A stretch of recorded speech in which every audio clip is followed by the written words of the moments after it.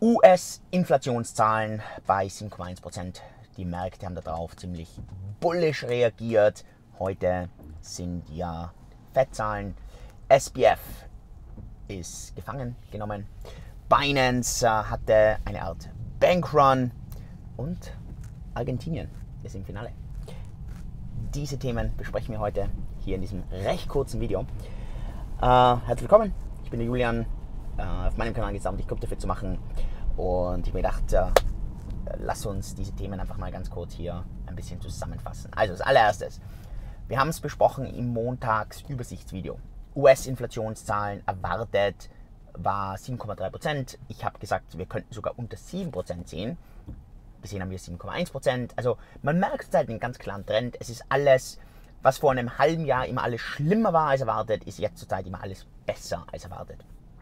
Führt auch zu dem Kritikpunkt der Fed gegenüber, dass die Fed vielleicht ein bisschen zu überreagiert derzeit, auch wenn ich nicht finde, dass das, ähm, also dass das, äh, dass das stimmt. Ich finde, die Fed ähm, sollte ruhig äh, einen strammen Kurs hier fahren zurzeit. Ähm, dann musste die den strammen Kurs aber auch wieder ziemlich aggressiv zurückziehen. Also, das sind so ein bisschen Inflationszahlen. Es war ein bisschen dubios, dass sowohl die Gesamtmärkte als auch die Kryptomärkte ziemlich gepumpt haben, bevor die Zahlen offiziell rausgekommen sind. Ähm, da gab es so ein bisschen die Gerüchte, dass das irgendwie Insider-Informationen waren oder nicht. Am Ende war das aber so ein typisch, und das haben wir besprochen, Dump, äh, Pump and Dump, äh, sowohl in den Gesamtmärkten als auch an den Kryptomärkten. Die Volatilität ist einfach unglaublich enorm. Gesamtmärkte sind 3% drauf, Krypto sogar noch viel mehr, 6, 7% drauf. Hat sich danach aber wieder deutlich beruhigt. Äh, Märkte sind wieder ziemlich runtergekommen, was ja auch zu erwarten war. Ich meine, die Inflationszahlen, ja, 7,1% ist jetzt definitiv besser als erwartet, aber es ist jetzt auch nicht so, dass du jetzt sagst, wow, äh, alles Probleme liegen hinter uns. So ist es ja nicht. Also von dem her, ähm, diese Volatilität werden wir weitersehen. Das bringt uns gleich zum nächsten Thema. Heute Fed. Was ist denn mit dem Scheibenwischer heute los? Äh, erkennt der irgendwie nicht, dass es regnet. Ähm, äh, heute Fed 50 Basispunkte sind erwartet an Zinserhöhung. Ich, äh, also ganz ehrlich, mich würde alles andere überraschen als 50 Basispunkte.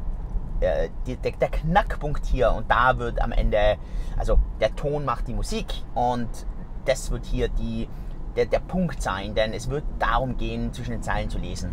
Wieder mal. Äh, genau das haben wir ja letztes Monat auch besprochen. Die Frage wird einfach sein, was wird hier Jay Powell ein bisschen durchsickern lassen? Wird er weiterhin aggressiv sein? Sieht er, dass wir irgendwie das Ende jetzt gesehen haben von allem? Lassen die von gestern die Inflationszahlen schon einfließen heute? und und und. Das sind natürlich alles so ein bisschen Punkte, die man hier äh, dann spannend ein bisschen sehen äh, wird. Und wiederum, ich glaube, es wird genauso volatil heute. Ich würde vorsichtig sein, diese Dinge zu traden, sondern hier einfach äh, auf der Seitenauslinie sein und einfach ein bisschen abwarten. Ähm, genau, was war sonst gestern? SBF äh, endlich in Custody, äh, Untersuchungshaft. Äh, er hat kein Bail bekommen, also er darf nicht auf Kaution raus. Ähm, meiner Ansicht nach auch vollkommen gerechtfertigt. Es gibt natürlich einige Leute, die sagen, ja, das war natürlich schon ein bisschen zufällig, dass es genau bei dem US Congress Hearing dann, also davor passiert ist, denn es war dieses Congress Hearing zu FTX, absolute Clownshow.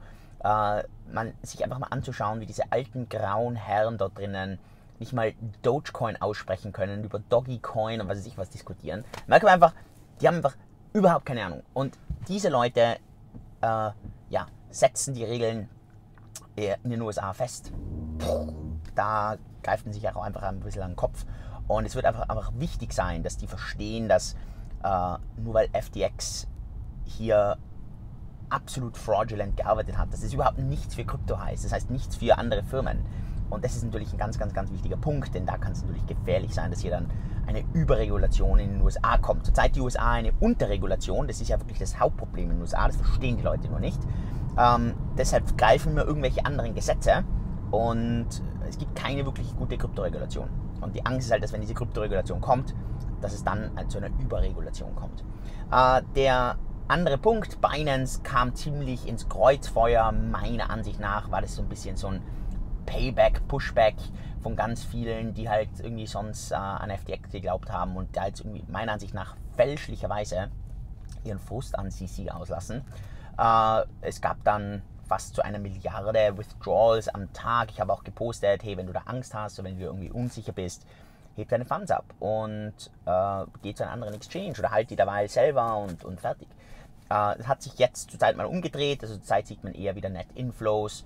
Ähm, gut, es waren ein paar Sachen, die sind schon komisch gewesen. Also die Audits, wie gesagt, wir müssen bei uns in der Firma auch einen Audit machen. Also bei uns sieht es ein bisschen anders aus. Ähm, wir, äh, Proof of Reserves, äh, ich meine, das könnte man auch besser machen. Wir werden das bei uns in der Firma genauso veröffentlichen. Und bei uns sieht es einfach nochmal deutlich professioneller aus. Und das müsst ihr dann selber sehen. Also waren schon ein paar Dinge, wo ihr denkt, so, weißt du, so die weltweit größte Tauschbörse könnte das eigentlich schon irgendwie noch besser machen. Müsste man nicht so machen, wie die das machen. Aber gut, glaube ich jetzt, dass Binance äh, die Funds nicht hat? Nee, ich glaube schon. Ich will aber dazu sagen, weder ich noch unsere Firma hat irgendwelche materiell essentiellen Funds irgendwie auf den Tauschbörsen drauf. Also will ich da dazu sagen. Ähm, genau. Trotzdem, also ich meine, wenn Binance hier Probleme hat, dann hat der ganze Kryptomarkt wirklich ein Problem. Ja, so sieht es da ein bisschen aus. Ansonsten, äh, Argentinien im Finale. Lass mich mal wissen, was du davon denkst. Macht es jetzt Messi zum weltbesten Spieler aller Zeiten? Sagen natürlich einige. Keine Ahnung, schauen wir mal, wenn er die Meisterschaft gewinnt, vielleicht. Äh, absolut spannend und heute dann äh, Marokko, Frankreich. Da wird es natürlich auch ein bisschen einen Culture Clash auch geben. Es sind natürlich auch einige der äh, ganzen sozialen Spannungen, die in diesem Spiel sich widerspiegeln, was Frankreich und Marokko natürlich angeht. Äh, wird spannend. Also von dem her viel, viel, viel, das abgeht. Ich komme gerade von meinem jährlichen Gesundheitscheck. Äh, drücken sich ja leider immer wieder die Leute davor äh, kann ich absolut raten, das nicht äh, irgendwie unter den Tisch fallen zu lassen. Ganz im Gegenteil. Weiß, die Leute schauen gerne die Charts an, aber das, was du dir wirklich anschauen solltest, sind deine Blutwerte, sind deine ganzen Gesundheitsfakten. Und äh, ich glaube, ja, die vor allem Männer haben Angst vor dem Finger und äh, aus dem Grund äh, gehen die dann nicht zum Checkup. Ähm, ja, fälschlicherweise. Also, so sieht es aus. Ich fahre jetzt ins Office und hatte echt einiges heute an Checks hier. Ultraschall, MRI, Blut, alles durch die Bank. Gut so. Ich bin fit wie ein Turnschuh. Zumindest fühle ich mich so. Aber das Ding ist immer, fühlen und sein, das ist in der Medizin doch immer ein bisschen Unterschied. Und da muss man natürlich abwägen, äh, wie viel zählen die darunterliegenden Fakten und wie viel ist einfach nur das Gefühl. Denn du kannst dich natürlich nicht gut fühlen, aber eigentlich passt alles. Und dann kannst dich natürlich gut fühlen und es passt nichts oder es passt wenig. So sieht's aus. Also, heute Abend, langes YouTube Live dann, werden wir einige Sachen ein bisschen im Detail besprechen. Ich hoffe, du bist da auch dabei und dann sehen wir uns dort. Mit dem, ich wünsche liebe Grüße, einen super Start in den Tag. Mach's gut, bis später, dein Julian. Tschüss.